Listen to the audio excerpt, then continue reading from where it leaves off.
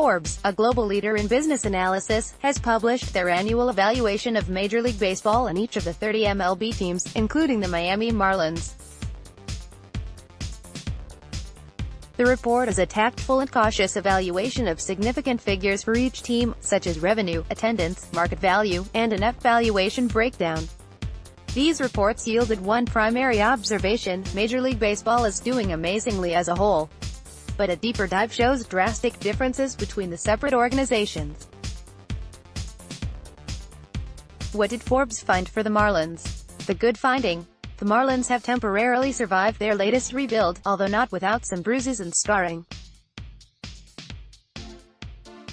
An increase of $31 million in operating income, from 2018 to 2019, shows that the Marlins aren't sunk quite yet. Why? Because trajectories matter in business, and although a two-year data point is far from a strong projectable trajectory, it shows progress. Progress which many felt would be impossible following an immediate reconstruction of the roster, as well as a shaky start with new ownership and the fanbase. Even if we take a one-for-one -one approach with payroll, the $22 million saved in payroll reduction from 2018 to 2019 would still yield an increase of $9 million to the team's operating income. Finding One of the common contrarian opines against the current ownership group is that the team will make money anyway. The phrase is often utilized to explain away any money that is put into the organization as unimportant or insignificant. Turns out the contrarians are not correct this time. The Marlins lost over $50 million in 2018, and $22 million in 2019. Yet, the organization went further into debt in order to upgrade the stadium and fan experience. Regardless of your opinion on the ownership group, this never would have happened with previous regimes. Finding We again take a look at trajectory. The Marlins' revenue continues to increase, which may come as a surprise if you didn't have the data in front of you. Baseball's revenue sharing is partially responsible for this increase, but the revenue sharing is now a consistent variable. The trajectory itself is not impacted yearly. Finding this point has been previously stated, but is worth repeating now that it has been confirmed. Although much is said about the Marlins' decrease in attendance, it is now known that the decrease in numbers is more closely related to method of counting than actual attendance dips. The previous ownership group inflated their headcount, and the current one does not. It is that simple. Miami had an attendance problem prior to ownership, and nothing has changed, no increase and no decline. Finding There is a path in Miami for the Marlins to make money, and not just light money.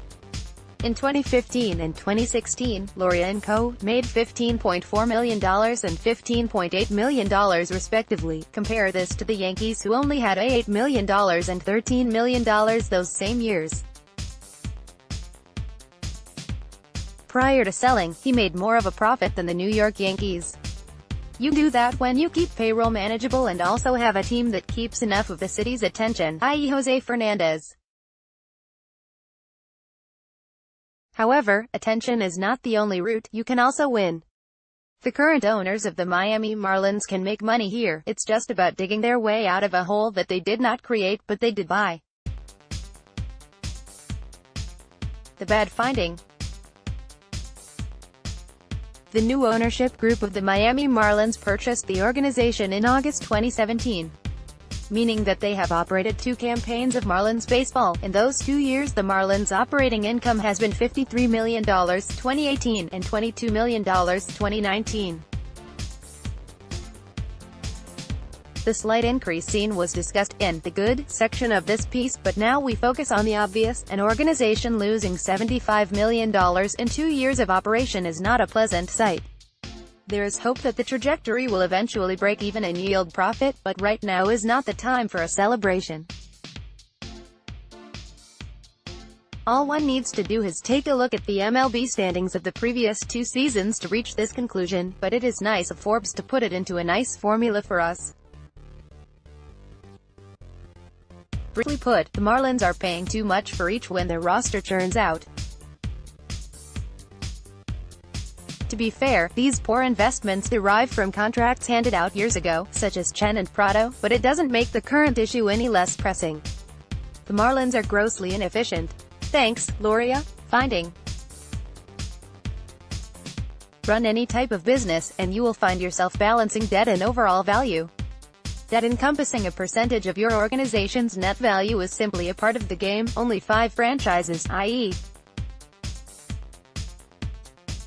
NYY, Boss, Tor, Law, and SF are at 0% debt value. However, the Marlins take this approach of balancing debt value to a risky extreme, as they currently have 40% of the value eliminated in debt.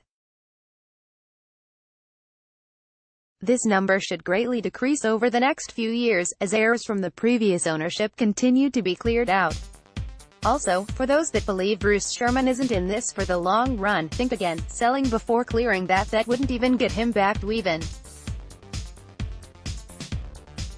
Only way to make money in this organization moving forward is to win the market over. More on that in a second. The ugly finding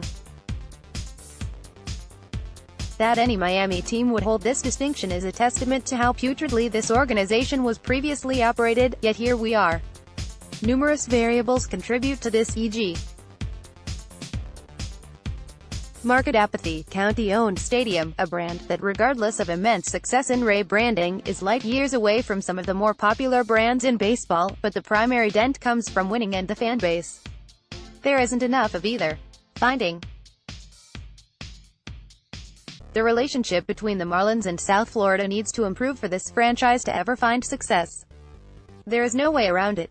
Earn back the community's trust, otherwise the fish will always be handicapped relative to other teams. The new ownership group has done an adequate job of re-engaging or holding on tightly to the fan base, corporate sponsors, and moving forward with their plan, but the baseball part needs to work. When rebuilds fail, teams typically rely on their market to grasp the reasoning behind it, or a strong fan base filled with generations of diehards, or a brand that will sell to those that don't even know what baseball is. The Marlins have none of that. For them to succeed in Miami moving forward, they need to win. No serious fan is expecting this to occur this year, or even next year, but by 2021 the winning needs to start. This is Miami. If you win, they will be there and pretend they never left. But if you lose, they'll pretend they never knew you. With a complicated history and a troubling current relationship, the Marlins cannot afford, literally, for their baseball plan to fail.